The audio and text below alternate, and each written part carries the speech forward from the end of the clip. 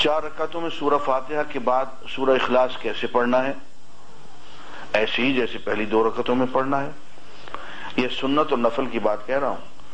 फ़र्ज़ में तीसरी रकत और चौथी रकत में सिर्फ़ सूरह फातिहा पढ़ी जाती है और कोई सूरत नहीं पढ़ते। वित्र में दुआ खनूद किस तरह पढ़े?